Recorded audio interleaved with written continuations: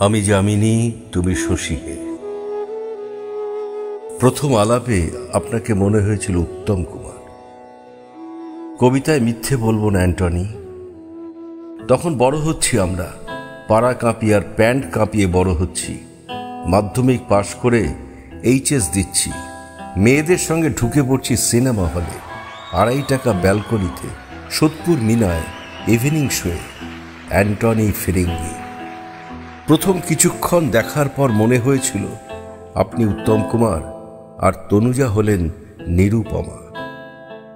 Half টাইমের পরে মনে হলো, আমি উত্তম কুমার আর পাশের মেয়েটি তনুজা। তারপর শেষ দিকে এসে যখন চোখে জল এসে গেছে আমাদের, তখন কিছুক্ষণের জন্যে হলেও মনে হয়েছিল, আমি অ্যান্টনি আর মেয়েটি বুঝি নিরুপমা। আর একদম শেষকালে যখন হল ছেড়ে বেরোচ্ছি, তখন আর উত্তম ফুত্তম কিচ্ছু নেই, পাশ থেকে মেয়েটিও হাওয়া।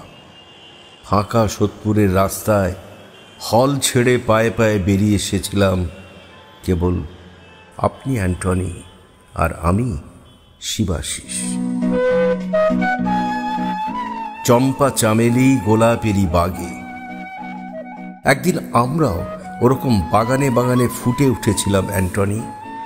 তাকুর নাকুর ঢোল সঙ্গে নিয়ে উঠে দাঁড়িয়েছিলাম পাড়ায় পাড়ায় মফস্বলে। পিঠে চাবুকের দাগ সহ্য করে একদিন আমরাও ওরকম প্রেমে পড়েছিলাম অ্যান্টনি। নিরুর মুখোমুখি বসে নিয়েছিলাম শাস্ত্রের পাঠ। লিপে লিপ মিলিয়েছিলাম রোম্যান্টিক সিকোয়েন্সে।